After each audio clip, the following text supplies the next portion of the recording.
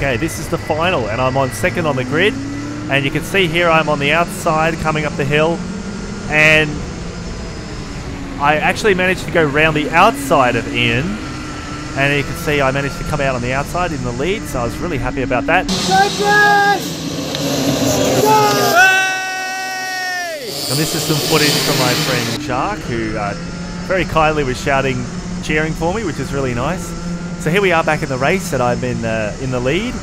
So I was thinking, great, excellent, because I really wanted to push it at that first corner and um, try to go around the outside. And Ian was very kind to me, and I've actually got a little bit of a gap to him. So even though I didn't know it at the time, looking at that now, I think, wow, it's wonderful. But then again, coming out of this corner, you can see he's going to gain on me a little bit. And you can see I've got a couple of kart lengths on him coming up the straight, but he's getting ever closer.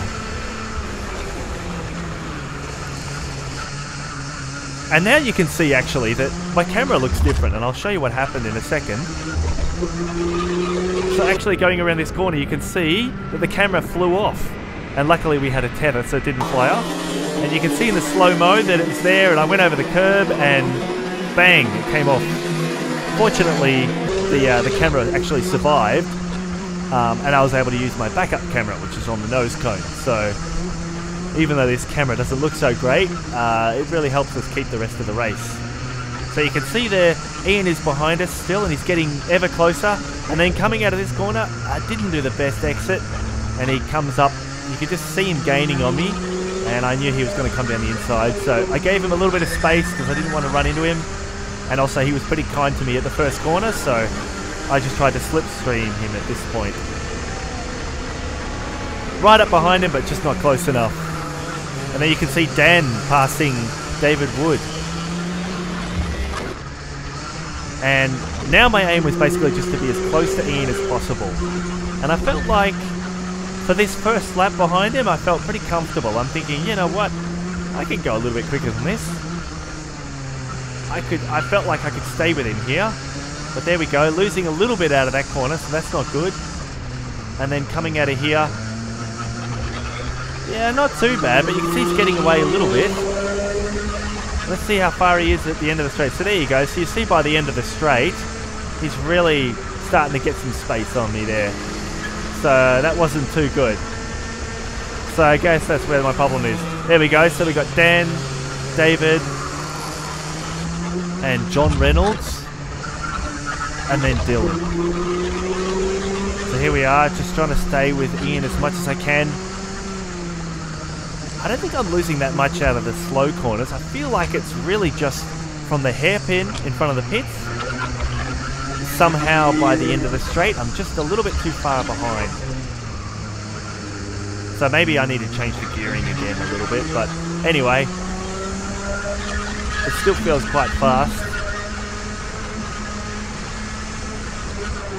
Yeah, and then I started to actually suffer with um, in this heat it was a bit frustrating, but I felt like as I came around that third corner onto the third straight, that my engine was cutting out a little bit. So this sometimes happens with the Rotax, with the um, with the carburetor. So if the carburetor's not clean, it does tend to get a little bit a little bit um, slow. So yeah, that was a bit frustrating. I actually felt a little bit disappointed at this point, actually, because I felt like I really, really, really wanted to see if I could stay with Ian in this race. Um, but have a listen to it here. That one's okay. And then coming through here, it's normally flat.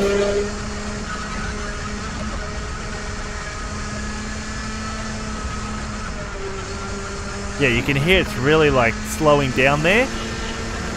Anyway, so there's me in second. We got um, we got Dan, David, John, and then Dylan. Dylan's doing really well to hold on, I think. And then we've got we've got Nick and Marco, I think, and then Mo.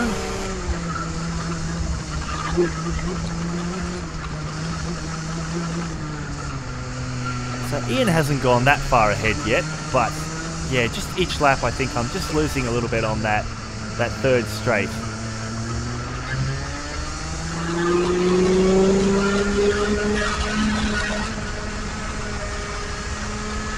Okay there. yeah, you can see how much the revs are dipping. Anyway, again, I'm pretty much in the same position I was last time. A gap behind and a gap in front.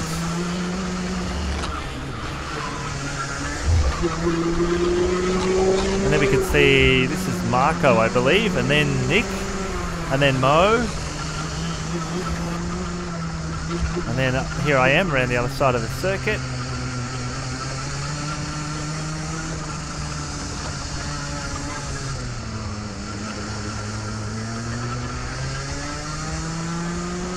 And once again, Ian's just pulling away. This is deja vu.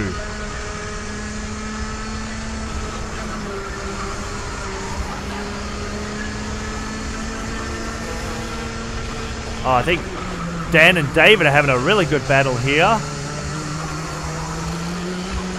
Yeah, the circuit is all about just being really smooth, that's for sure.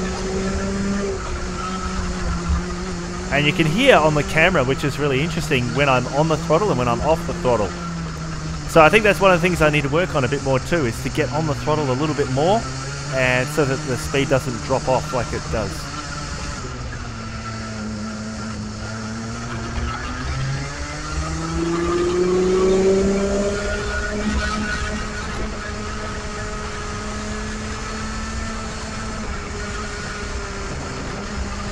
Oh god, you can hear it there, really, really cutting out. Because it should be flat at that corner. Here we go, there's David. Oh, David's gone down the inside. So that was really interesting. So they're having a really good battle.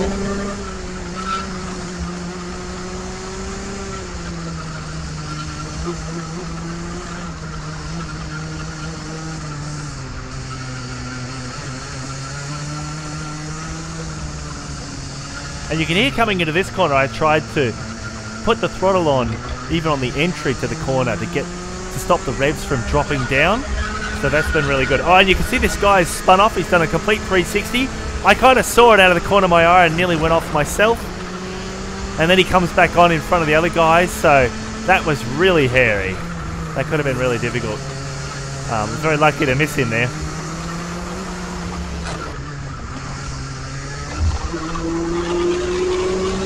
So that was chaos averted, which was really good. Really just counting down to the end of the end of the event here. Comfortable in second, but um, would have really loved to have gotten a little bit closer to Ian. But quite frankly, I'm a bit surprised that the guys behind didn't catch up because of my issues and I think it's because they're squabbling. Because they've been fighting, they haven't been able to catch me as quickly as they probably would have. Oh, you can see that guy's going off again at that corner. Dylan's doing a really good job to hold on, to be honest. As I said, he hasn't had many laps here, so I think next time he's going to be right up the front.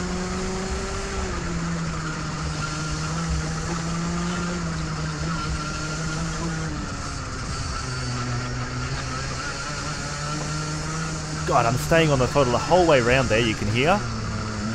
But, yeah, I think I need to be a little bit closer with the, the curve on the other corner. Now, what lap are we on? There we go. So, Ian's passing medium now. Because the medium, medium races race on the same race, but they just go, um, you know, 30 seconds ahead of us or 15 seconds ahead of us.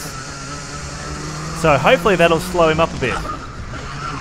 So we've got one lap to go, and I'm hoping that Ian's going to get caught up in the traffic and I can catch in a little bit, but uh, maybe I shouldn't hold my breath here, I think.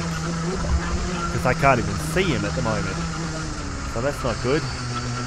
Let's see where he is around this corner. There you go. You can see he's just coming out of that corner there. And I'm in the hairpin, but no chance being the last lap. Anyway, at least I managed to get second in this race, and my second podium, my second trophy uh, at the Oakleigh circuit. So I've got to be happy with that. And we'll try to catch Ian another day.